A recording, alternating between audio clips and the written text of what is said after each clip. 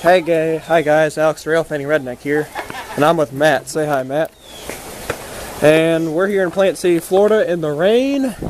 And as you see on the screen, there's not not not the best choices going on. We have people trespassing on railroad property in the rain, and that's really not a good thing to do. You can slip on those rails, bust yourself up, and you will you're going to be stuck. And from now, not only are you trespassing on railroad property, you are also in the wake of an you are also in the path of an oncoming Amtrak train as at the time of this filming. See that? He just left Tampa, Florida. That's Amtrak 92. And Amtrak's in Mango right now. He's going through Seffner, which is a couple miles down that way. These people are standing on the rails of the tracks, which is extremely, very dangerous and very illegal.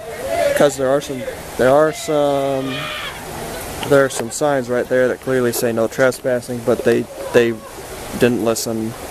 Someone's gonna get, someone's gonna get very badly injured because of our poor choices in our society. But yeah, it's raining right now. And let's see Amtrak 92 go through the rain. Alex from the Redneck out.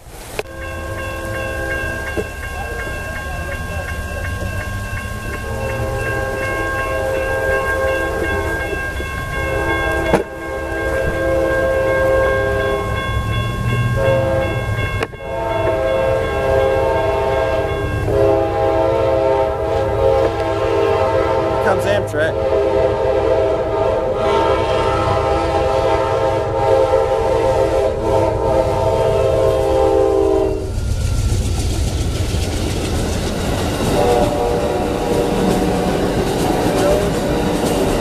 Brand new River sleeping car.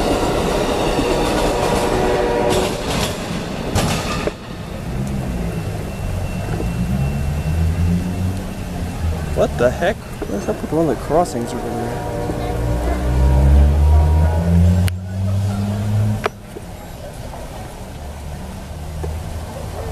Touch